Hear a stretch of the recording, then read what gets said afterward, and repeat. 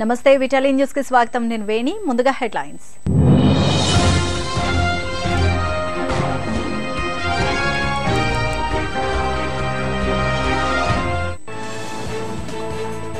Clean Andhra Pradesh దిశగా municipal శాఖ. దేశంలో నెంబర్ వన్గా తీర్చిదిద్దుతామని మంత్రి బొత్స స్పష్టం.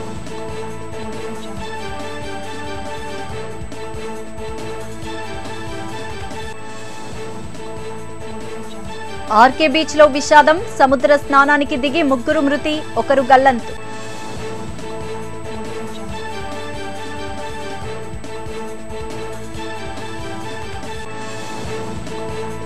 ఘనంగా జరిగిన సావిత్రిబాయి పూలే నూట తొంభై ఒకటవ జయంతి వేడుకలు.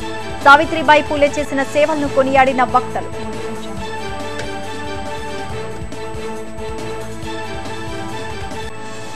మున్సిపల్ అధికారులపై అసహనం వ్యక్తం చేసిన ఎమ్మెల్యే వాసుపల్లి నిర్లక్ష్యంగా వ్యవహరిస్తున్న అధికారులపై చర్యలు తీసుకోవాలని కమిషనర్కు ఫిర్యాదు.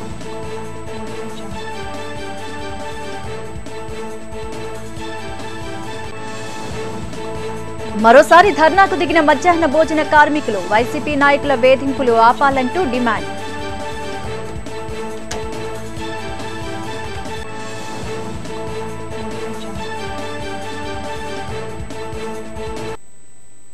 డీటెయిల్స్ చూస్తే క్లీన్ ఆంధ్రప్రదేశ్లో ప్రజలను భాగస్వామ్యం చేశామని పారిశుధ్యంలో ఏపీని దేశంలోని నెంబర్ వన్గా తీర్చిదిద్దుతామని మున్సిపల్ శాఖ మంత్రి బొత్స సత్యనారాయణ అన్నారు. నేరుగా ఇంటి వద్దే తడి పొడి చెత్తను వేరు చేసి సేకరిస్తున్నామని ప్రజలంతా పరిసరాలు శుభ్రంగానే ఉంచుకోవాలని కోరుకుంటున్నామని తెలిపారు. ఇందులో భాగంగా ప్రజలే స్వచ్ఛందంగా చెత్త పన్ను చెల్లిస్తున్నారన్నారు. పార్టీ నగర కార్యాలయంలో నిర్వహించిన మీడియా సమావేశంలో ఆయన మాట్లాడారు. ఇప్పటికే చెత్త సేకరణ వాహనాలను జీవీఎంసీకి అరవై శాతం ఇచ్చామన్నారు. త్వరలోనే వంద శాతం ఇస్తామన్నారు. దీనిపై ప్రతిపక్ష పార్టీలు పదే పదే విమర్శలు చేయడం సరికాదన్నారు. మున్సిపాలిటీల పరిధిలో శానిటేషన్ తాగునీరు విద్య వైద్య రంగాలకు అధిక ప్రాధాన్యత కల్పిస్తున్నామన్నారు. మరోవైపు విశాఖకు స్వచ్ఛ సర్వేక్షణ్ తొమ్మిదవ స్థానం సిటిజన్ ఫీడ్బ్యాక్ నెంబర్ వన్ స్థానం వచ్చిందని మంత్రి వెల్లడించారు. చంద్రబాబు ప్రభుత్వంలో మాదిరిగా తాము గ్రాఫిక్స్ చేయలేదన్నారు. గత ప్రభుత్వం హయాంలో టిట్కో ఇళ్ళకు డబ్బులు వసూలు చేశారని కానీ తమ ప్రభుత్వం కేవలం ఒక్క రూపాయికే ఇస్తోందన్నారు. టీడీపీ హయాంలోనే విశాఖలో భూదందాలు భూ స్కాములు జరిగాయని వైఎస్ఆర్సీపీ ప్రభుత్వంలో అలాంటివేమీ లేవన్నారు. ఒకవేళ ఎవరైనా పాల్పడితే వారిని ఉపేక్షించేది లేదని సీఎం చెప్పిన విషయాన్ని మంత్రి బొత్స గుర్తు చేశారు. ఇక హయగ్రీవా సంస్థ యజమాని జగదీష్కు ఎంపీ ఎంవి సత్యనారాయణ పదిహేను కోట్లు అప్పు ఇచ్చినప్పుడు ఆయన తమ పార్టీలోనే లేరని అసలు ఎంపీగానే లేరని బొత్స స్పష్టం చేశారు. అప్పుడు ఆయన వ్యాపారస్తుడు మాత్రమేనన్న విషయం గుర్తుంచుకొని మాట్లాడాలన్నారు. రహస్య మీటింగ్లంటూ అవాస్తవాలు రాయడం సరికాదన్నారు. Party MP Visakha smart city corporation చైర్మన్లపై బురద జల్లే ప్రయత్నంలో భాగమే ఇవన్నీ అని మంత్రి పేర్కొన్నారు.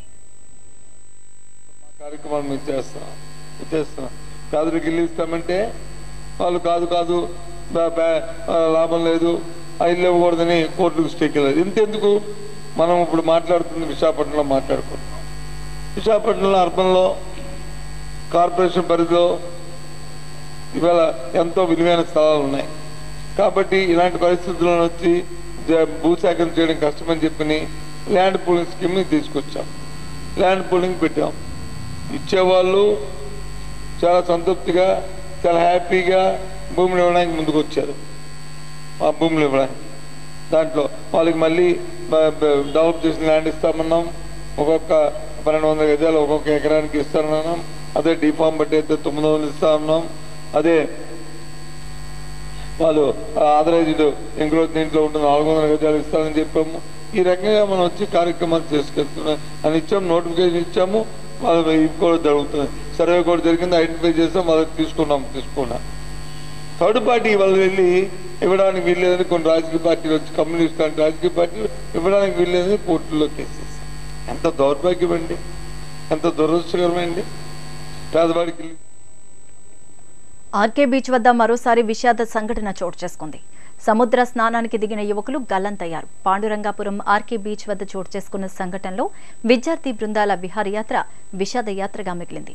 హైదరాబాద్ బేగంపేటకు సమీపంలోని రసూల్పూర్కు చెందిన ఎనిమిది మంది విద్యార్థుల బృందం విశాఖలో నూతన సంవత్సర వేడుకలు చూద్దామని డిసెంబర్ ముప్పై ఒకటిన వచ్చారు.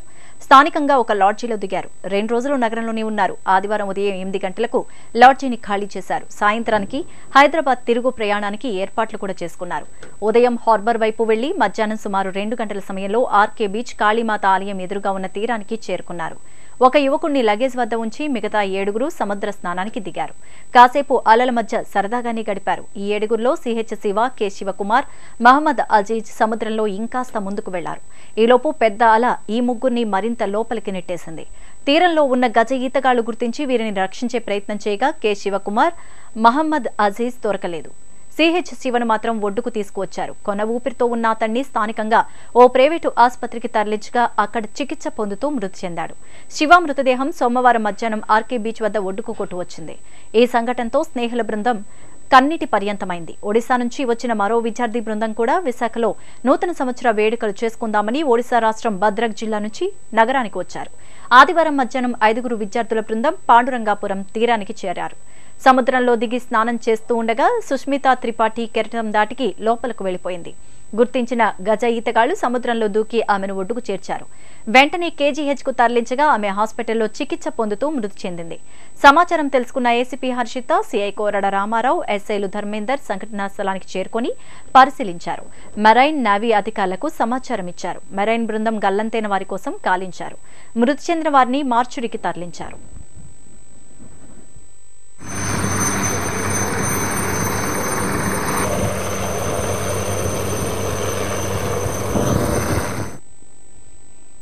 సావిత్రిబాయి పూలే జన్మదిన వేడుకలు ఉత్తర నియోజకవర్గం సమన్వయకర్త కెకే రాజు కార్యాలయంలో ఘనంగా జరిగాయి. ఉత్తర నియోజకవర్గం బీసీ సెల్ అధ్యక్షులు గంగా మహేష్ ఆధ్వర్యంలో జరిగిన ఈ కార్యక్రమానికి ముఖ్య అతిథిగా నియోజకవర్గ సమన్వయకర్త నెట్క్యాప్ చైర్మన్ కెకే రాజు పాల్గొన్నారు. ఈ సందర్భంగా ముందుగా సావిత్రిబాయి పూలే చిత్రపటానికి పూలమాలలు వేసి ఘనంగా నివాళులర్పించారు. అనంతరం ఆయన మాట్లాడుతూ బడుగు బలహీన వర్గాల అభివృద్ధి కోసం జ్యోతిరావు పూలే విశేష సేవలు చేస్తే ఆయన సతీమణి సావిత్రిబాయి పూలే ఆయన అడుగు జాడల్లో నడుస్తూ భారతదేశంలోని మొట్టమొదటిసారిగా మహిళా సాధికారత కోసం కృషి చేసిన వ్యక్తి అంటూ కొనియాడారు. ఈ రోజు మహిళలకు అన్ని రంగాల్లో ప్రాధాన్యత దక్కడానికి కారణం ఆనాడు సావిత్రిబాయి పూలే చేసిన కృషి అన్నారు. కార్యక్రమంలో డిప్యూటీ మేయర్లు నియోజకవర్గంలోని కార్పొరేటర్లు కార్యకర్తలు పాల్గొన్నారు. జ్యోతిరావు పూలే గారి సతీమణి సావిత్రిబాయి పూలే గారు. ఈరోజు జ్యోతిరావు పూలే గారు ఏ విధంగా అయితే తాడిత పీడిత ప్రజానికం కోసం తాడిత పీడిత ప్రజానికం ముఖ్యంగా వెనకబడిన వర్గాల వారు వృద్ధిలోకి రావాలి వెనకబడిన వర్గాల వారు వృద్ధిలోకి రావాలంటే వారికి సమాజంలో సరైన గౌరవం దక్కాలి. వారిని అన్ని రకాలుగా ప్రోత్సహించి వృద్ధిలోకి తీసుకురావాలని జ్యోతిరావు పూలే గారు కృషి చేస్తే ఆయన వెన్నంటి ఉండి ఆ పోరాటంలో ఆయనకు అన్ని రకాల సహాయ సహకారాలు అందిస్తూ మహిళలు అక్షరాస్యత దిశగా పయనించాలి. ఈ దేశ చరిత్రలో భారతదేశ చరిత్రలో మొట్టమొదటిసారి మహిళా సాధికారత కోసం పోరాడిన మహిళ సావిత్రిబాయి పూలే గారు. ఈరోజు ఈ దేశంలో మహిళలకు సంబంధించి మహిళ అభ్యున్నతకు సంబంధించి మహిళా సాధికారికి సంబంధించి మహిళలకి రాజ్యాధికారానికి సంబంధించి అన్ని రంగాల్లోని కూడా ఈరోజు మహిళలకి ప్రాధాన్యత దక్కుతుందంటే దానికి ప్రధాన కార్యక్రమాలు జోన్ ఫోర్ మున్సిపల్ అధికారులపై దక్షిణ నియోజకవర్గ ఎమ్మెల్యే వాస్పల్ గణేష్ కుమార్ అసహనాన్ని వ్యక్తం చేశారు. ప్రజల సమస్యలు పరిష్కరించడంలో నిర్లక్ష్యంగా వ్యవహరిస్తున్నారని మున్సిపల్ కమిషనర్కు ఫిర్యాదు చేశారు. సంబంధిత అధికారులపై చర్యలు తీసుకోవాలని ఎమ్మెల్యే సూచించారు. అసిల్మెట్లోని తన కార్యాలయంలో నిర్వహించిన డయల్ యువర్ ఎమ్మెల్యే కార్యక్రమానికి వచ్చిన ఫిర్యాదులపై స్పందించారు. పారిశుధ్య లోపంపై ప్రజలు అసహనాన్ని వ్యక్తం చేయడాన్ని గుర్తించారు. ఈ సందర్భంగా జోనల్ కమిషనర్ పనితీరుపై మండిపడ్డారు. సత్వరమే నియోజకవర్గంలోని సమస్యలు పరిష్కరించాల్సి ఉందిగా అధికారులకు ఆదేశించారు.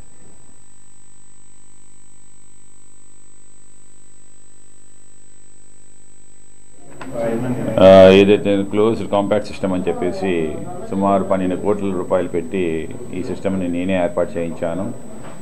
దక్షిణ నియోజకవర్గంలోనేమో స్యూయేజ్ ఫార్మ్ డంపింగ్ యార్డ్ ఏదైతే ఉందో ప్రతిరోజు కూడా సుమారు ఒక పాతిక టన్నులు ముప్పై టన్నులేమో మన జోన్ ఫోర్ నుండి అక్కడ చెత్తనేమో నిల్వ చేస్తారు.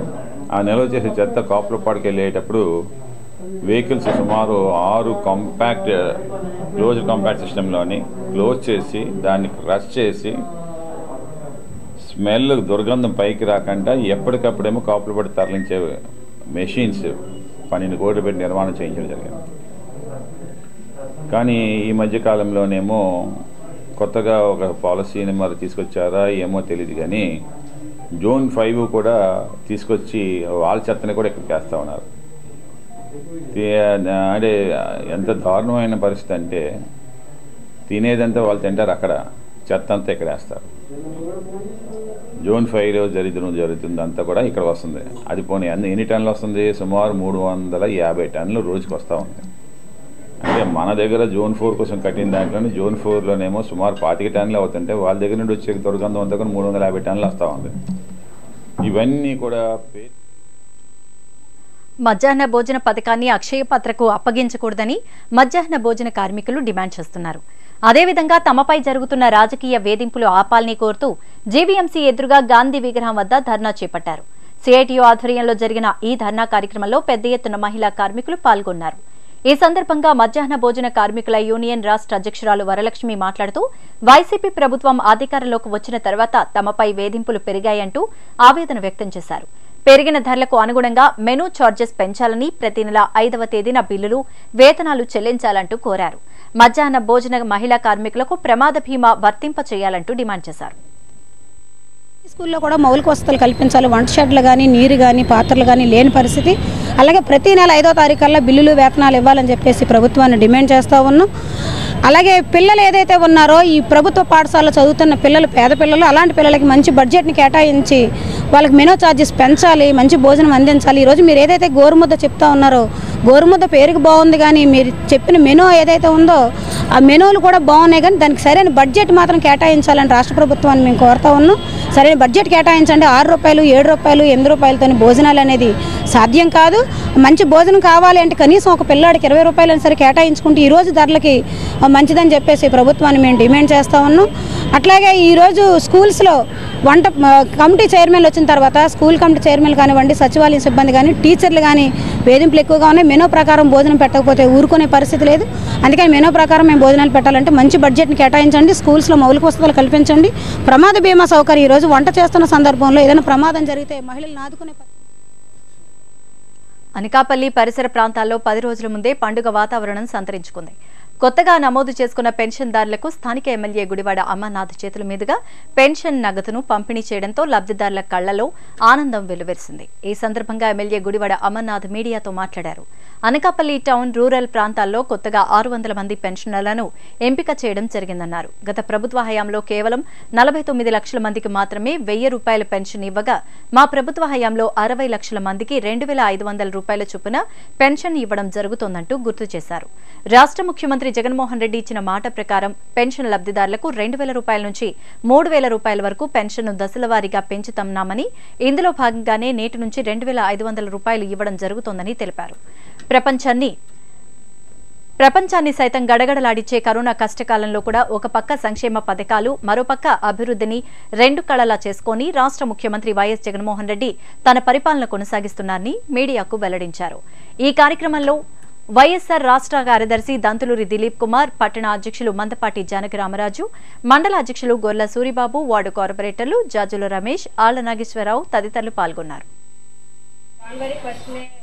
పెన్షన్దారులందరికీ కూడా నూతన సంవత్సర కానుకగా ఎన్నికల ముందు ప్రజలకు ఇచ్చినటువంటి హామీలో భాగంగా దాదాపు అరవై లక్షల మంది పెన్షన్దారులకి రెండు వేల రెండు వందల యాభై రూపాయలు ప్రస్తుతం ఉన్నటువంటి పెన్షన్ని రెండు వేల ఐదు వందల రూపాయలు చేస్తూ గౌరవ ముఖ్యమంత్రి గారు నిర్ణయం తీసుకోవడం. నిన్న గుంటూరులో గౌరవంగా దాన్ని లాంఛనంగా ప్రారంభించడం కూడా మనం అందరం కూడా చూసాం. అందులో భాగంగా ఈరోజు అనకాపల్లి పట్టణ పరిధిలో అలాగే అనకాపల్లి మండల పరిధిలో ఉన్నటువంటి దాదాపు నూతనంగా పెన్షన్ వచ్చినటువంటి దాదాపు ఆరు వందల మందికి అలాగే గడిచినటువంటి కొంతకాలంగా అనకాపల్లి మండలం అనకాపల్లి పట్టణంలో పెన్షన్లు తీసుకున్నటువంటి దాదాపు ఇరవై వేల మందికి రెండు వేల ఐదు వందల రూపాయలు పెన్షన్ అందించేటువంటి కార్యక్రమాన్ని ఈరోజు అనకాపల్లిలో ఏర్పాటు చేయడం. ఎన్నికల ముందు ఇచ్చినటువంటి ప్రతి హామీని నిలబెట్టుకునేటువంటి దిశగా ఈ ప్రభుత్వం ఎలా ముందుకెళ్తుందో అనేటువంటిది ప్రజలు కూడా చాలా వివరంగా చెప్పడం జరిగింది. ఒక్క పెన్షన్ కానుక కాకుండా కాకుండా ఈరోజు రైతు భరోసా కూడా రెండు వేల రూపాయలు దాదాపు వెయ్యి కోట్ల రూపాయలని ఈరోజు గౌరవ ముఖ్యమంత్రి గారు రాష్ట్రంలో ఉన్నటువంటి యాభై లక్షల మంది రైతు కుటుంబాలకు అందించేటువంటి కార్యక్రమాన్ని చేస్తూ ఉన్నాం. అమ్మఒడి కార్యక్రమం కానీ వైఎస్ఆర్ చేయుత కానివ్వండి వైఎస్ఆర్ ఆసరా కానివ్వండి జగనన్న విద్యా దీవెన కానివ్వండి ఇలాగ అనేక పథకాలు ఏ రోజు కూడా అధికారంలోకి వచ్చినటువంటి నాటి నుండి నేటి వరకు ఏ ఒక్క పథకాన్ని కూడా ఈ ముఖ్యమంత్రి గారు ఏ రోజు ఏ సాకో చెప్పి ఆపినటువంటి సందర్భాలు లేవు. సంక్షేమాన్ని పేదవాడికి అందించేటువంటి దాంట్లో ఎప్పుడు కూడా రెండు అడుగులు ముందుకే వేస్తారు తప్ప వెనకడుగు వేసేటువంటి ప్రసక్తే ముఖ్యమంత్రి పెందుర్తి నియోజకవర్గంలో రాక్షస పాలన నడుస్తోందని కబ్జాలు భూదందాలు అక్రమ గ్రావెల్ త్రవ్వకాలు జరుగుతున్నాయని మాజీ మంత్రి బండారు సత్యనారాయణమూర్తి ఆవేదన వ్యక్తం చేశారు. యథేచ్ఛగా చింతగట్ల పంచాయతీ ఇప్పిలివారిపాలెం గ్రామంలో అక్రమ గ్రావెల్ తవ్వకాలు జరుగుతున్న పెందుర్తి తహసీల్దార్ రామారావు ఇటువైపు కన్నెత్తి చూడలేదంటూ ప్రశ్నించారు. ఎమ్మెల్యే అనుచరులు అంటూ గ్రామాల్లో వైఎస్సార్ కాలనీ పేరిట నాయకులు బంధువులకు గృహాలు ఇచ్చి పక్కన ఉన్న కొండ ప్రాంతాన్ని తవ్విస్తూ సొమ్ము చేసుకుంటున్నారని హేళన చేశారు. తీరా ఈ రోజు ఈ ప్రాంతానికి పర్యటనకు వస్తే కూలీలను పెట్టి మాపై రచ్చగొట్టి ఉసుకల్పై ప్రయత్నాలు చేస్తున్నారంటూ మండిపడ్డారు.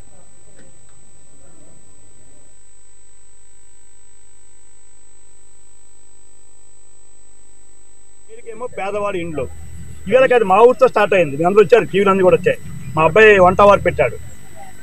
అదంతా లెవెల్ చేసేసి ఇసుక మట్టి ఎక్కడ పడిపోయి తెలియదు గ్రావెల్ ఎక్కడ అమ్ముకున్నారు. ఇది మళ్ళీ ఎన్ఆర్జీ రికార్డ్ చేశారు.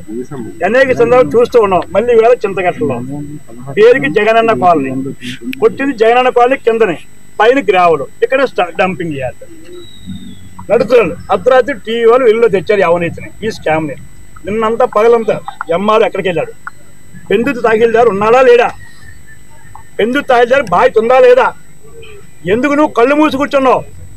ఇంత పెద్ద దోపిడీ అయ్యి టీవీల్లో వస్తే ఈ వేటకి యాక్షన్ కూడా సీజ్ చేయలేదు స్టాక్ అంతా రాత్రి మళ్ళీ ఎంఆర్ఓ సపోర్ట్తో సపోర్ట్తో సపోర్ట్తో స్టాక్ అంతా వెళ్ళిపోయింది.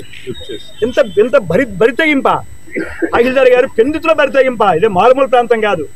ఈ దోపిడీ అడ్లేదా తహసీల్దార్ గారు? ఎవరు అండా? ఈ ఎమ్మెల్యే గారు మీకు ఏం ఓటాలు ఉన్నాయా? చెప్పండి. రెండు ఆక్రమణలు. ఇక్కడ చెరువు చెప్పాం. పెద్దగాడిది పెద్ద చెరువు. అది గవర్నమెంట్ రాజ్ చెరువు. అది గవర్నమెంట్ చెరువు దాన్ని పట్టాగా మార్చేశారు ఈ ప్రభుత్వంలో. మార్చేసి దాని పేమెంట్ ఇవ్వబోయారు ఎస్టీసీలో మొన్న సడన్గా మా ఎంపీపీ ఎక్స్ఎంపీ వెంకటేశ్వర గారు సర్పంచ్ గారు అప్పలాది గారు మా మా నాయకులందరూ వెళ్తే అవన్నీ ప్రూవ్ ఆఫ్ చేస్తే ఆ పేమెంట్ ఆపారు. ఎంత ఉన్నారు పేమెంట్ ఎన్ని ఎకరాది ఎనభై ఆరు లక్షలు స్కామ్ దాని గురించి మాట్లాడలేదు. భవన్ నిర్మాణ కార్మికుల సమస్యలపై టీఎన్టీయూసీ సమరభేరి మోగించింది. ఇందులో భాగంగా ఈ నెల మూడవ తేదీ నుంచి ఇరవై ఎనిమిదవ తేదీ వరకు ఆందోళన కార్యక్రమాలు తలపెట్టినట్లు ప్రకటించింది. జిల్లా తెలుగుదేశం పార్టీ కార్యాలయంలో జరిగిన మీడియా సమావేశంలో టీఎన్టీయూసీ రాష్ట్ర కార్యదర్శి నాగోతి శివాజీ విశాఖ పార్లమెంటు ఉపాధ్యక్షులు బండారు అప్పారావు కార్యదర్శి నక్క లక్ష్మణరావులు మాట్లాడారు. రాష్ట్ర ప్రభుత్వం తీసుకున్న భవన్ నిర్మాణ కార్మిక సంక్షేమ బోర్డు నిధులను వెనక్కు జమ చేయాలని సంక్షేమ బోర్డు ఆగిపోయిన పథకాలన్నింటినీ వెంటనే అమలు చేయాలని తమపై అధికారుల వేధింపులు ఆపాలని పెట్రోల్ డీజిల్ ధరలపై రాష్ట్ర ప్రభుత్వం పన్ను మినహాయింపు ఇవ్వాలని తదితర డిమాండ్లతో ఆందోళన కార్యక్రమాలు జరుగుతాయని తెలిపారు. వాళ్ళు కండలు పిండి చేసుకుంటూ ఆ విధుల్ని నిర్వహిస్తున్న పరిస్థితుల్లో కూడా జగన్మోహన్ రెడ్డి ఈరోజు అసలు పథకాలు తెలుగుదేశం పార్టీ హయాంలో చంద్రన్న బీమా ఐదు లక్షల రూపాయలు సహజ మరణం రెండు లక్షల రూపాయలు. ఇలాంటి పథకాలన్నీ కూడా జగన్మోహన్ రెడ్డి ప్రభుత్వం వచ్చిన తర్వాత భవన నిర్మాణ కార్మికుల రంగంలో కార్మికులకు అన్యాయం జరుగుతూ ఈ పథకాలన్నీ తీసివేయడం జరిగింది. ఇవి రానున్న రోజుల్లో ఈ పథకాలన్నీ మళ్ళీ అమల్లోకి రాకపోతే మేము టీఎన్టీయూసి తరపున ప్రజల్లోకి వెళ్ళి కార్మికులకు అండగా నిలబడతామని రాష్ట్రంలోని కాపు కమ్మ కులస్తుల మధ్య వైరం పెట్టి మరోసారి అధికారాన్ని కైవసం చేసుకోవాలని వైఎస్సార్ కాంగ్రెస్ పార్టీ ప్రయత్నాలు చేస్తోందని తెలుగుదేశం పార్టీ విశాఖ పార్లమెంట్ ప్రధాన కార్యదర్శి పాసర్ల ప్రసాద్ అన్నారు. జిల్లా పార్టీ కార్యాలయంలో నిర్వహించిన మీడియా సమావేశంలో ఆయన మాట్లాడారు. కాపు కులస్తులను తెలుగుదేశం పార్టీకి దూరం చేయాలని ఉద్దేశంలో భాగంగా ఇటీవల టీడీపీ రాష్ట్ర కార్యాలయం పైన పట్టాభి ఇంటిపైన దాడులు చేయడం జరిగిందన్నారు.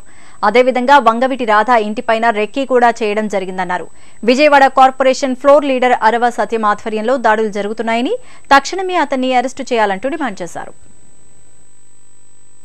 పైన కూడా దాడి జరిగింది. పట్టాభి గారి ఇంటి పైన కూడా దాడి జరిగింది. అదే సమయంలో వంగవీటి రాధా గారి ఇంటి పైన కూడా రెక్కి చేసి అతని కదలికలను పరిశీలిస్తుండగా రాధా గారు దాన్ని గమనించి దానిపైన పూర్తి అవగాహన తెచ్చుకొని తన తండ్రి వర్ధంతి రోజున ఆ విషయాన్ని గుడ్లవల్లేరు గ్రామంలో మరి దాన్ని మీడియా ముందు చెప్పడం జరిగింది. దాన్ని ఆసరాగా తీసుకొని వెంటనే జగన్మోహన్ రెడ్డి ఎంతో ప్రేమ ఉన్నట్టు నలుగురు గన్మ్యాన్లు నియమించడం దాన్ని రాధా గారు తిరస్కరించడం కూడా జరిగింది. విజయవాడ కార్పొరేషన్ ఫ్లోర్ లీడర్ ఎవరైతే ఉన్నారో ఆ ఫ్లోర్ లీడర్ అరవ సత్యం ఆధ్వర్యంలోనే ఇలాంటి దాడులు జరుగుతున్నాయి. అతన్ని తక్షణమే అరెస్ట్ చేయాలని మేము డిమాండ్ చేస్తున్నాం తెలుగుదేశం పార్టీ తరఫున అతన్ని అరెస్ట్ చేయకుండా గన్మ్యాన్లు ఇచ్చాను. అదేవిధంగా ఏదో ముఖ్యమంత్రి జగన్మోహన్ రెడ్డి జన్మదినాన్ని పురస్కరించుకుని గత నెల ఇరవై ఒకటిన రాజ్యసభ సభ్యులు విజయసాయిరెడ్డి ఆధ్వర్యంలో విశాఖ నగరంలో అత్యంత ప్రతిష్టాత్మకంగా ఒలింపిక్ తరహాలో పోర్ట్ స్టేడియంలో ప్రారంభమైన వైఎస్ఆర్ క్రికెట్ టోర్నీ తుది పోరుకు చేరుకుంది. ఈ నేపథ్యంలో ఐపీఎల్ తరహాలు సన్నాహాలు చేస్తున్నామని Andhra University vice chancellor Prasad Reddy అన్నారు. Andhra University platinum jubilee guest హౌస్లో నిర్వహించిన మీడియా సమావేశంలో ఇప్పటి వరకు జరిగిన హైలైట్స్ ఫైనల్ మ్యాచ్కు చేస్తున్న సన్నాహాలు వివరించారు. నాలుగవ తేదీ మంగళవారం నుంచి పోర్ట్ స్టేడియంలో పూల్ ఫైనల్ మ్యాచ్లు జరుగుతాయన్నారు. జీవీఎంసీ పరిధిలోని తొంభై ఎనిమిది వార్డులను ఆరు పూల్స్గా విభజించి పోటీలు నిర్వహించడం జరిగిందని తూర్పు దక్షిణ ఉత్తర పడమర గాజువాక నియోజకవర్గాలు ఒక్కో పూల్గా పెందుర్తి అనకాపల్లి భీమిలి మూడు నియోజకవర్గాలను కలిపి సబ్ అర్బన్ పూల్గా నిర్ణయించడం జరిగిందన్నారు. నాలుగు వందల తొంభై టీంలు పాల్గొన్న ఈ టోర్నీలో పన్నెండు టీంలు పూల్ ఫైనల్స్కు చేరుకున్నాయని మంగళవారం నుంచి ఆయా టీమ్స్ మధ్య పోటీలు జరుగుతాయన్నారు. ఇప్పటి వరకు నాలుగు వందల నలభై మ్యాచ్లు విజయవంతంగా నిర్వహించడం జరిగిందన్నారు.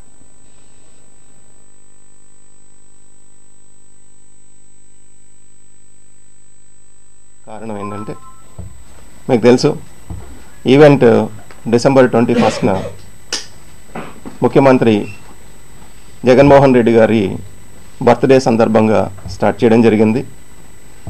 ఆ రోజున ఇనాగరేషన్ అనేది ఒక ఒలింపిక్ లెవెల్ ఇనాగరేషన్ లా జరిగింది అనేటువంటి విషయం మీరందరూ కూడా రిపోర్ట్ చేయడం జరిగింది. ఈవెంట్ స్టార్ట్ అయింది మ్యాచెస్ అవుతున్నాయి పదిహేను గ్రౌండ్స్లో. మనం ఇంచుమించుగా ఆ క్లోజింగ్ స్టేజ్ వైపుకి రైట్ నో వెళ్తున్నాం. జాన్యువరి నైన్త్ ఫైనల్ మ్యాచ్ ఉంటుంది. జాన్యువరి నైన్త్ సండే మధ్యాహ్నం one thirty to four thirty final match ఉంటుంది. మరి రైట్ నౌ ఈ రోజున ఇక్కడ మనం ఎందుకు కలిసామనేటువంటి విషయాన్ని డెఫినెట్గా మీరు ఈ యూత్ అందరిలోకి తీసుకెళ్ళాలి కాబట్టి ఆ విషయాలని మీతో నేను ఇప్పుడు షేర్ చేసుకుంటాను. ఈ షెడ్యూల్ షేర్ చేసుకునే ముందు మీ ద్వారా మ్యాచ్ ఎలా హైలైట్ అయింది అనే విషయాన్ని నేను మీకు ఒకసారి చెప్పి తర్వాత రైట్ నౌ ఇప్పుడు ఈ మినిట్లో ఈ ఈవెంట్ని నంబర్ ఆఫ్ వ్యూస్ చూస్తే ఎనిమిది లక్షల తొంభై రెండు వేల యాభై నాలుగు వ్యూస్ ఇప్పుడు right now as on spot ఎనిమిది లక్షల తొంభై రెండు వేల యాభై నాలుగు వ్యూస్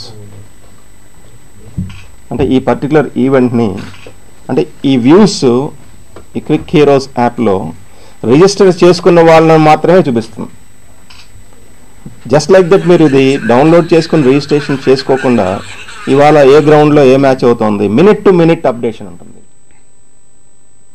రాష్ట్ర యాత సంక్షేమ మరియు అభివృద్ధి సంస్థ చైర్మన్ పిల్లి సుజాత ఉత్తరాంధ్ర యాత సంక్షేమ సాంస్కృతిక సేవా సంఘం అధ్యక్షులు పిల్లి నూకరాజు ఆధ్వర్యంలో రాష్ట్ర నెట్ క్యాప్ చైర్మన్ ఉత్తర నియోజకవర్గ సమన్వయకర్త కెకే రాజు శాసనమండలి సభ్యులుగా ఎన్నికైన నగర పార్టీ అధ్యక్షులు సిహెచ్ వంశీకృష్ణ శ్రీనివాస్ కనక మహాలక్ష్మి దేవస్థానం చైర్మన్గా నియమితులైన కొల్లి సింహాచలంలకు ఘనంగా సన్మానం జరిగింది. నరసింహనగర్ సాయి బాలాజీ ఫంక్షన్ హాల్లో జరిగిన అభినందన సభలో deputy floor leader Kampa Hanok నలభై మూడో వార్డ్ కార్పొరేటర్ పి. ఉషశ్రీ రాష్ట్ర డైరెక్టర్లు సీనియర్ నాయకులు తదితరులు పాల్గొన్నారు. ఈ సందర్భంగా కేకే రాజు మాట్లాడుతూ ముఖ్యమంత్రి జగన్ బీసీ కులస్తులకు చేస్తున్న సేవలు గుర్తు చేశారు. వెనుకబడిన శెట్టి బలిజ కులస్తుల అభివృద్ధి కోసం అనేక నామినేటెడ్ పోస్టులు ఇవ్వడం జరిగిందన్నారు. గతంలో రాజ్యసభ సభ్యునిగా వ్యాపారవేత్తలు ధనికులకు మాత్రమే కేటాయించేవారని అయితే ముఖ్యమంత్రి జగన్ దానికి భిన్నంగా శెట్టి బలిజ కులానికి చెందిన పిల్లి సుభాష్ రాజ్యసభ ఇవ్వడం జరిగిందన్నారు. అనంతరం ఎమ్మెల్సీ వంశీకృష్ణ మాట్లాడుతూ దేశంలో రాష్ట్రంలో వెనుకబడిన కులాలు అభివృద్ధి చెందాలంటే బీసీలు అన్ని విధాల అభివృద్ధి చెందితేనే సాధ్యమవుతుందని ముఖ్యమంత్రి భావించి యాభై ఆరు బీసీ కార్పొరేషన్లు ఏర్పాటు చేశారన్నారు. ఈ దేశమైన రాష్ట్రమైన అభివృద్ధి జరగాలంటే పడుగు బలహీన వర్గాల అభివృద్ధి జరగాలి. ఇచ్చిన మాట నిలబెట్టుకొని ఈరోజు రాష్ట్రంలో అద్భుతమైన పరిపాలన అందించడానికి ఏకైక ముఖ్యమంత్రి జగన్మోహన్ గారు. మనం ఎవరు కూడా ఊహించున్నాం యాభై ఆరు బీసీ కార్పొరేషన్ పెట్టి ప్రతి సామాజిక వర్గం కూడా ఆర్థికంగా సామాజికంగా ఎడ్యుకేషన్ పరంగా అన్ని విధాలు కూడా అభివృద్ధి జరిగితేనే ఈ రాష్ట్ర అభివృద్ధి యొక్క బాధ్యత. ఏకైక ముఖ్యమంత్రి జగన్మోహన్ రెడ్డి గారి విషయం మనం గుర్తుపెట్టుకోవాలి. అందరూ వస్తారు. వేస్తుంటారనే మాట చెప్పి వాళ్ళ పప్పం గడుపుకుంటారు మహాత్మా జ్యోతిరావు పూలే గారు ఏదైతే కళలు కన్నారో వెనుకబడిన వర్గాల వారికి మనం రాజ్యాధికారాన్ని అందించాలి అందించిన రోజే తాడిత పీడిత ప్రధానికులు జీవన ప్రమాణాలు నెరవేరుతాయి వారి వృద్ధిలో పడతారని. దాన్ని నిజం చేస్తూ స్వతంత్ర భారతదేశంలో మొట్టమొదటిసారి ఆంధ్రప్రదేశ్ రాష్ట్రంలో బీసీ ఎస్సీ ఎస్టీ మైనారిటీ వర్గాల వారికి యాభై శాతానికి పైగా రిజర్వేషన్ కల్పించిన ఘనత ఒక వైఎస్ జగన్మోహన్ రెడ్డి గారు మాత్రమే చెందుతుంది. అంతేకాదు ఏదో రిజర్వేషన్ కల్పించామని కాకుండా ప్రతి దాంట్లో కూడా ముఖ్యంగా రాజ్యాధికారాన్ని చాలా మంది గతంలో ఏర్పడిన వర్గాలకు ఉద్యోగాలలో లేకపోతే ఉపాధులను చెప్పేవారు. మొట్టమొదటిసారి రాజ్యాధికారాన్ని కూడా అంటే రాజ్యాధికారం అంటే రాజ్యాంగ సంబంధమైన పదవులు కూడా నామినేటెడ్ పదవులు. జిల్లా బీసీ విభాగం అధ్యక్షులు రాష్ట్ర Ayyarika corporation director K Ramanna Patrudu నిర్వహణలో శ్రీమతి సావిత్రిబాయి పూలే నూట తొంభై ఒకటవ జయంతి వేడుకలు వైఎస్సార్ కాంగ్రెస్ పార్టీ కార్యాలయంలో జరిగాయి. ఈ కార్యక్రమానికి ముఖ్య అతిథిగా నగర పార్టీ అధ్యక్షులు శాసనమండలి సభ్యులు వంశీకృష్ణ శ్రీనివాస్ యాదవ్ శాసనమండలి సభ్యులు వరదు కళ్యాణి రాష్ట్ర జిల్లా వివిధ కార్పొరేషన్ చైర్మన్లు P. Sujatha Satyanarayana P. Sujatha Nookaraju Chukkakula Lakshmi Pallachina Thalli GVMC కార్పొరేటర్లు పాల్గొన్నారు.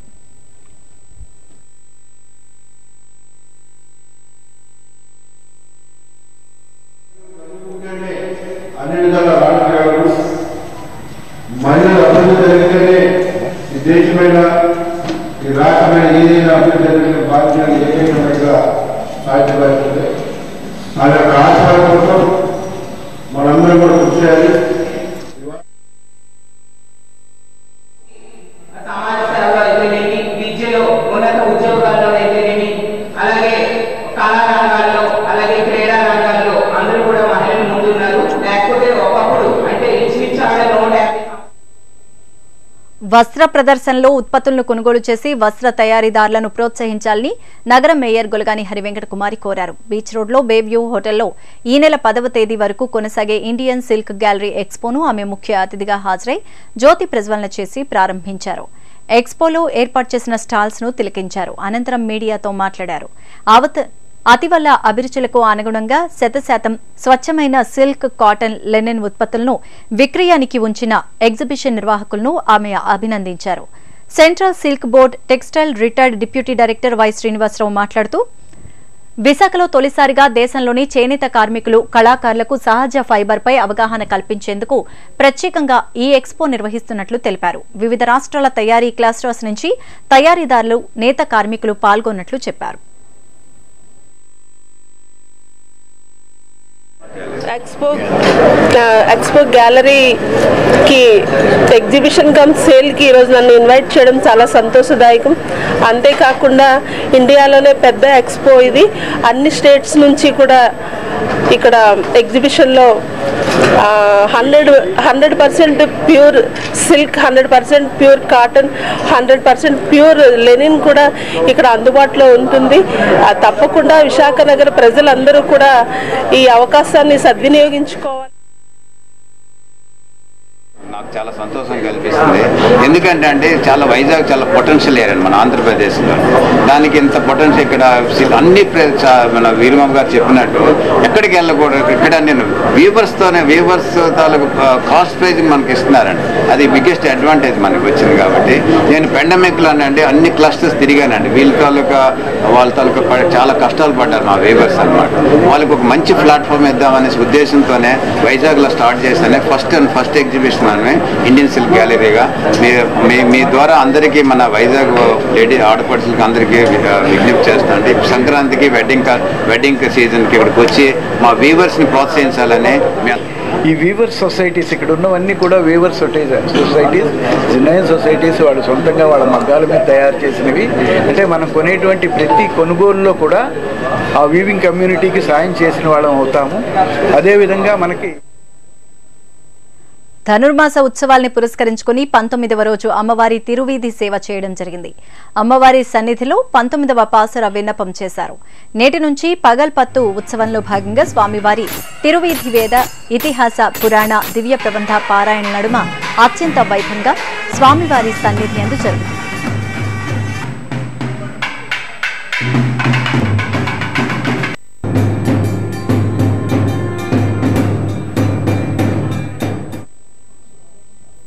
బులెటిన్ ముగించే ముందు హెడ్లైన్స్ మరోసారి.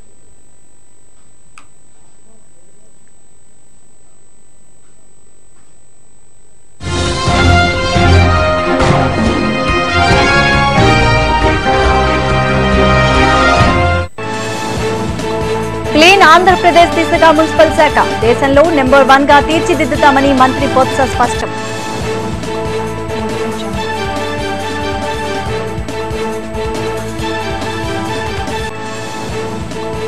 ఆర్కే బీచ్లో విషాదం సముద్ర స్నానానికి దిగి ముగ్గురు మృతి ఒకరు గల్లంతు.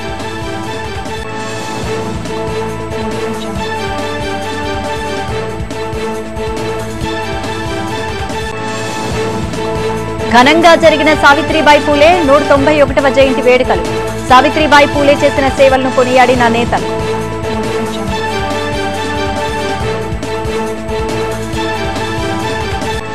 మున్సిపల్ అధికారులపై అసహనాన్ని వ్యక్తం చేసిన ఎమ్మెల్యే వాసుపల్లి నిర్లక్ష్యంగా వ్యవహరిస్తున్న అధికారులపై చర్యలు తీసుకోవాలంటూ కమిషనర్కు ఫిర్యాదు.